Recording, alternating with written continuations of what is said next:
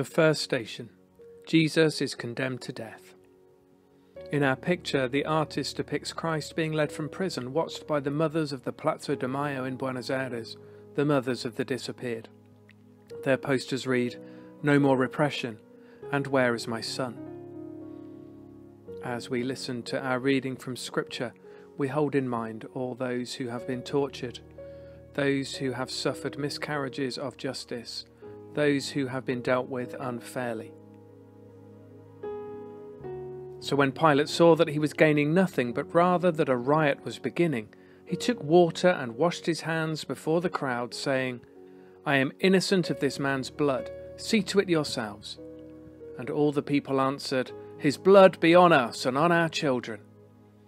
Then he released for them Barabbas, and having scourged Jesus, delivered him to be crucified.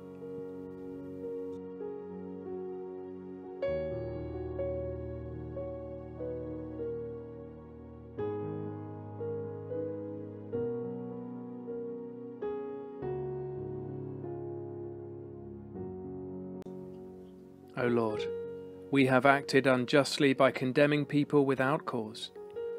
Pardon our dishonesty, and if we have to judge others in future, help us to do so with mercy and forbearance. Amen.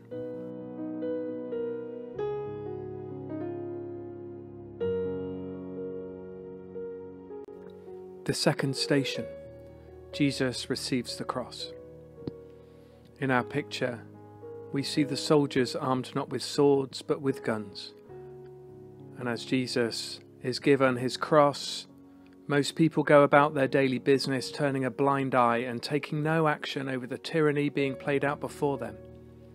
The only witnesses are a shoeshine boy and an elderly couple, people of low social status. As we hear our reading in Scripture, we hold in mind those opinions that are held by the majority, who perhaps look down on those who are of no use to them. We think of those who were called unskilled, who now are known as key workers. Then he handed them over to be crucified. So they took Jesus, and he went out bearing his own cross to the place called the place of a skull which is called in Hebrew Golgotha.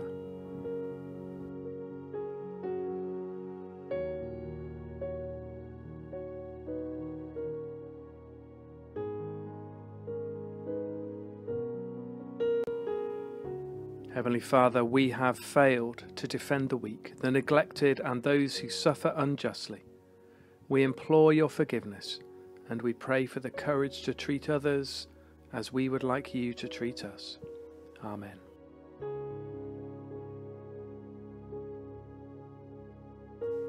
The third station Jesus falls for the first time under the cross.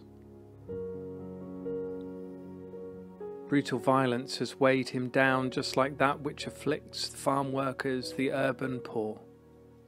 In the foreground, we see Archbishop Oscar Romero of El Salvador, who was assassinated at the altar while celebrating Mass in 1980. As we hear our reading from Scripture, we think of those in our community whose lives have been cut short through violence. We think of the young men who have lost their lives to knife crime in the last few weeks. He was oppressed and he was afflicted Yet he opened not his mouth, like a lamb that is led to the slaughter, and like a sheep that before its shearers is dumb, so he opened not his mouth.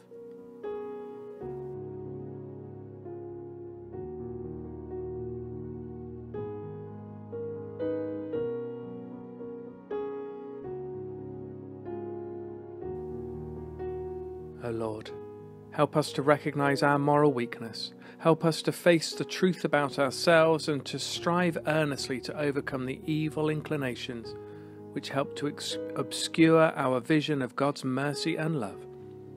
Amen.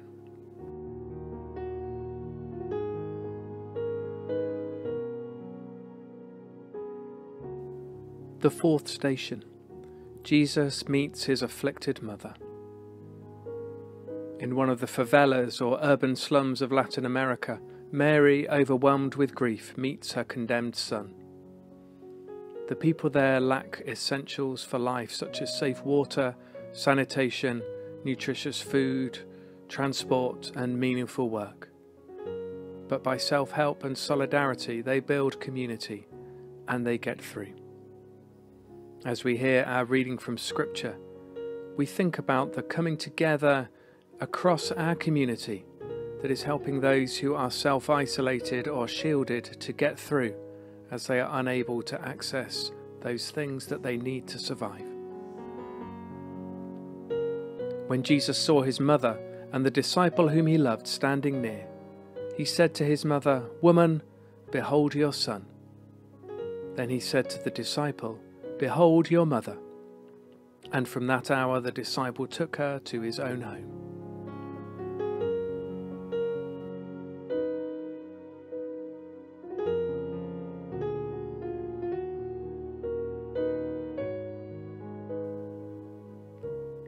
Lord, as we consider the anguish which tore at Mary's heart as she followed her son on his way to a disgraceful death, we pray that her example would teach us to accept the true trials and the sorrows of life with resignation to God's will and confidence in His providence. Amen.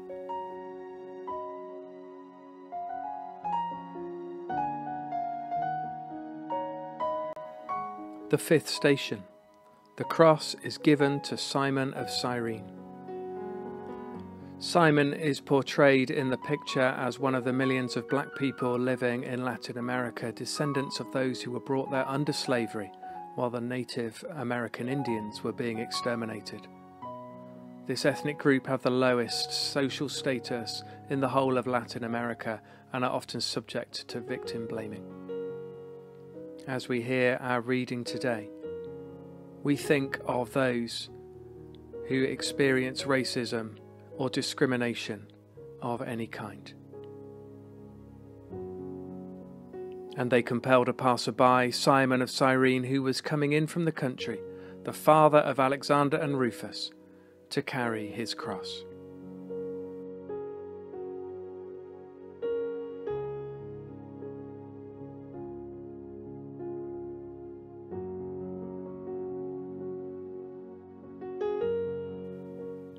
Lord. Help us to conquer fear and anger. Help us to be at peace with ourselves and with other people as we endeavour to follow in the footsteps of your Son. Amen.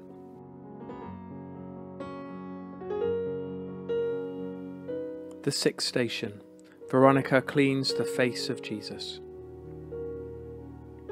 Of the 22 million Aztecs alive when Hernan Cortes entered Mexico, only a million remained by 1600. And here, Indian women represent Saint Veronica. They have wiped the face of Jesus. His features, now imprinted on the cloth, are their features. Could they be our features too? Is our identity shaped by Jesus? And the king will answer them Truly I say to you, as you did it to any of the least of these my brethren, you did it to me.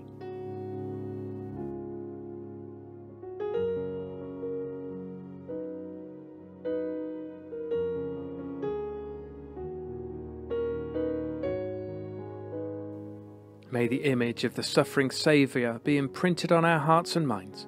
May we behold his countenance in the faces of the sick and the poor, and in the victims of injustice, war, persecution, and famine.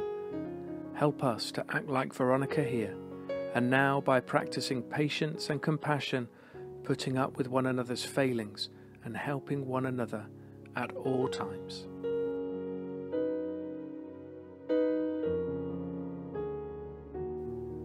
The seventh station Jesus falls the second time. Each rope on the cross that can be seen amongst the land reform marchers represents a murdered campesino. Derecho a la tierra, right to the land, say their banners. Jesus taught people to pray for bread.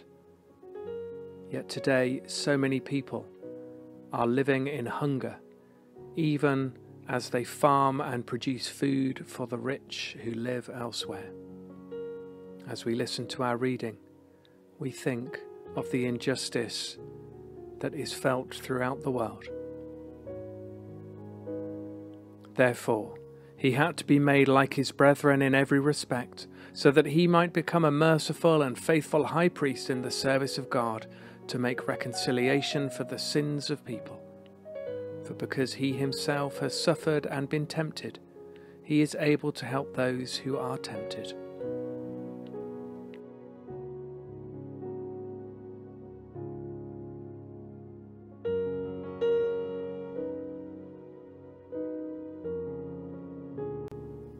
By freely accepting suffering and death, Jesus opened for us the channels of grace. Lord, help us to appreciate his kindness and mercy, and although it is humiliating to have to confess the same sin so often, never let this lead us to become oblivious to sin as we continue to place our confidence in you. Amen.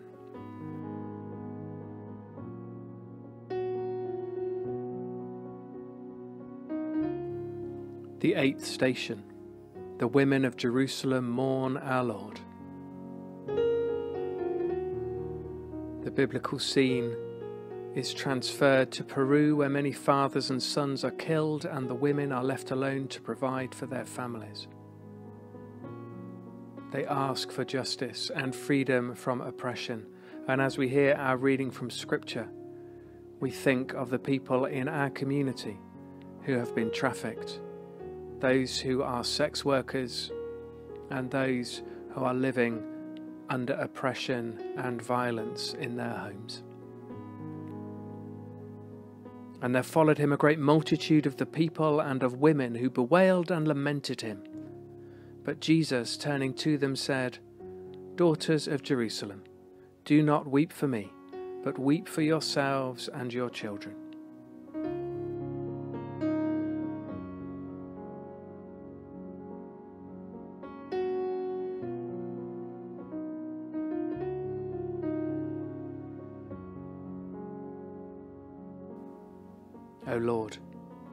Do not, do not let me accept kindness passively. Let me imitate the kindness of Christ. Where there is hatred, let me sow love. Where there is injury, pardon. Where there is doubt, faith. Where there is darkness, light. And where there is sadness, joy. Amen.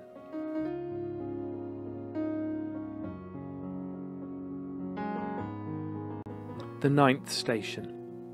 Jesus falls the third time under the cross. Jesus is depicted falling amid the homeless children and the unemployed youth in Brazil. As we hear today's reading, we think of the children in our community who are kept out of school, who are suffering for lack of opportunities to do anything meaningful with their time. We think of the teenagers who have been caught up in knife crime. For we have not a high priest who is unable to sympathize with our weaknesses, but one who in every respect has been tempted as we are, yet without sinning. Let us then with confidence draw near to the throne of grace, that we may receive mercy and find grace to help in time of need.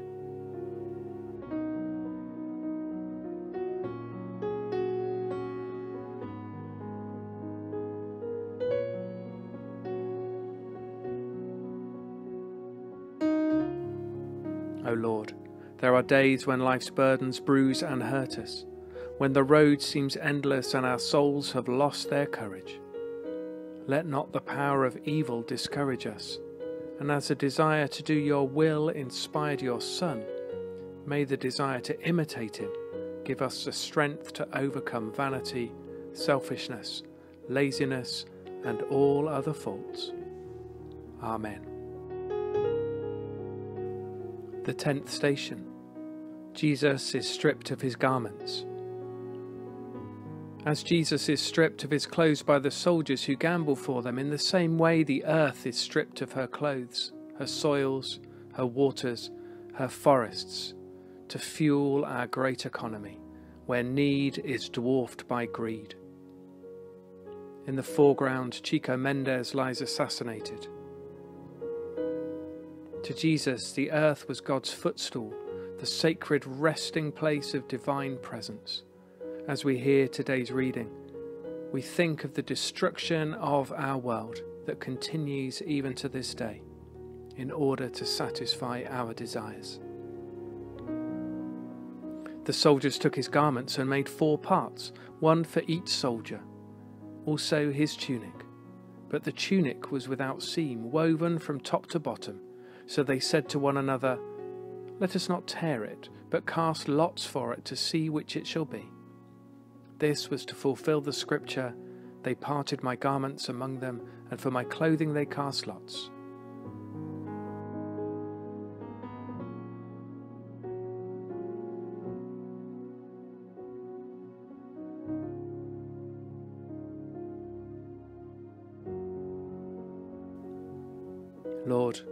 Help us to accept with resignation all the humiliations and disappointments of this world. Strip us of pretense, deception, conceit, pride, and greed. Teach us to value honesty, sincerity, and truth, and give us the courage to live up to our Christian convictions, whatever the cost may be. Amen.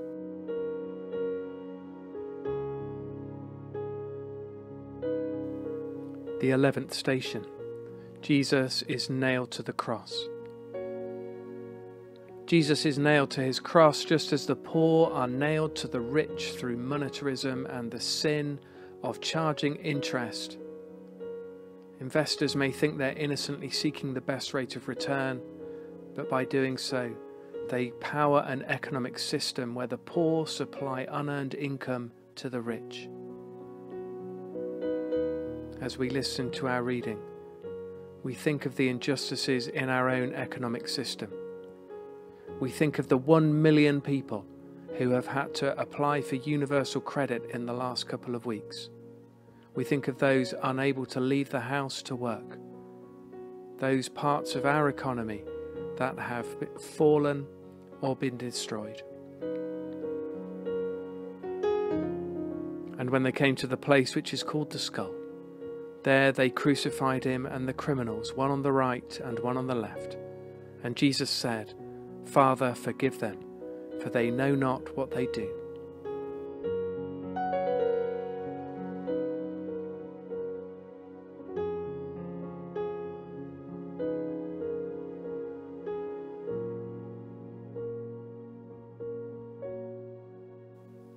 Lord Jesus, you were wounded for our iniquities and pierced for our sins.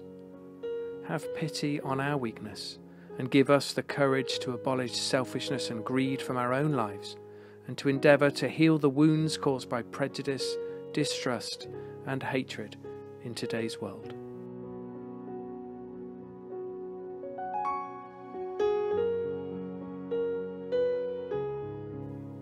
The twelfth station Jesus dies on the cross. The whole world is being crucified by the spirit of violence, and the two halves, the north and the south, the rich and the poor, heaven and earth, have been ripped apart, and yet still the cross unites them. As we listen to our reading, we hold in mind all that unites us with the rest of humanity we hold in mind the communion of saints. After this, knowing that all was now finished, Jesus said, To fulfill the scripture, I thirst. A bowl full of vinegar stood there, so they put a sponge full of the vinegar on hyssop and held it to his mouth. When Jesus had received the vinegar, he said, It is finished. And he bowed his head and gave up his spirit.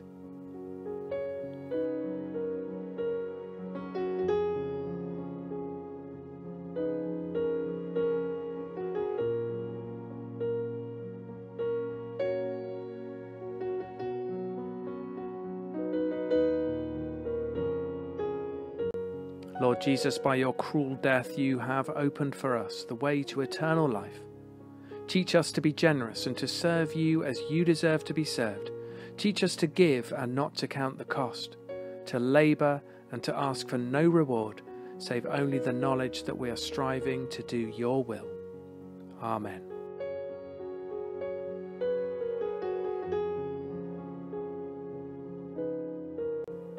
The thirteenth station Jesus is taken down from the cross. As Jesus is taken down, the people gather in anticipation of Easter. All around the world, small groups gather. And yet here we are, isolated, locked in our houses, unable to gather except to connect by electronic means. As we listen to our reading, we hold in mind the global church and we look forward to that time when we can be joined together again and celebrate in person all that unites us. After this, Joseph of Arimathea, who was a disciple of Jesus, but secretly, for fear of the Jews, asked Pilate that he might take away the body of Jesus, and Pilate gave him leave. So he came and took away his body. Nicodemus also, who had at first come to him by night, came bringing a mixture of myrrh and aloes, about a hundred pounds weight. They took the body of Jesus and bound it in linen cloths with the spices, as is the burial custom of the Jews.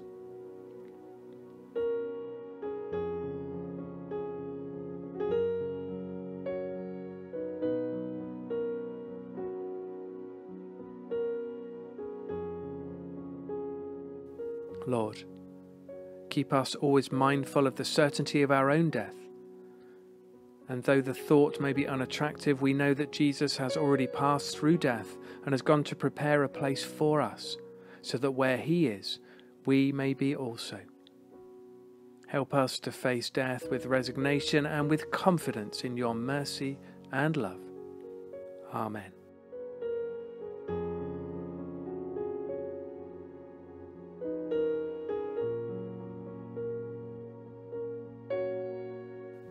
The fourteenth station Jesus is laid in the tomb.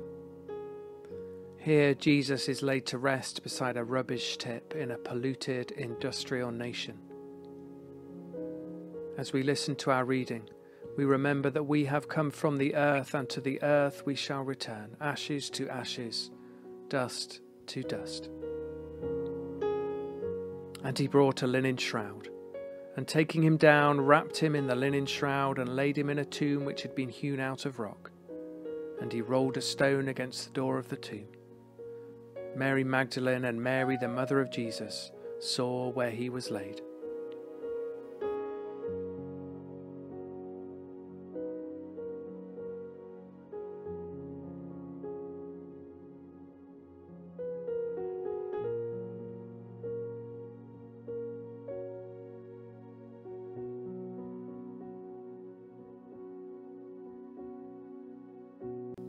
Eternal Father, like Jesus, we too shall be laid in the grave, when it shall please you, and wheresoever it shall please you. As Jesus rose in glory on the third day, we dare to hope that through the merits of his passion and death, we shall be raised to live and reign with him in your heavenly home. Amen.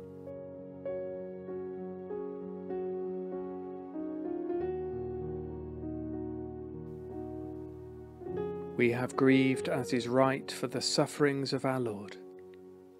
We have grieved for our own sins. Let us also rejoice and give thanks for this day of our salvation. The cross is our salvation. The cross is our hope. The cross is our union with God. The cross is the victory won for us over sin and death. So let us pray for the coming of the kingdom in the words our Saviour taught us. Our Father, who art in heaven, hallowed be thy name. Thy kingdom come, thy will be done on earth as it is in heaven. Give us this day our daily bread, and forgive us our trespasses as we forgive those who trespass against us. Lead us not into temptation, but deliver us from evil.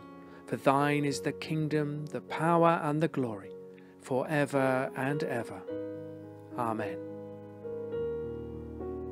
most merciful God, who by the death and resurrection of your Son Jesus Christ delivered and saved humanity, grant that by faith in him who suffered on the cross, we may triumph in the power of his victory through Jesus Christ our Lord. Amen. Christ give you grace to grow in holiness, to deny yourselves, take up your cross, and follow him. And the blessing of God Almighty, the Father, the Son, and the Holy Spirit rain down upon you and remain with you always. Amen. So as you stay home, do so in peace to love and serve the Lord. Amen.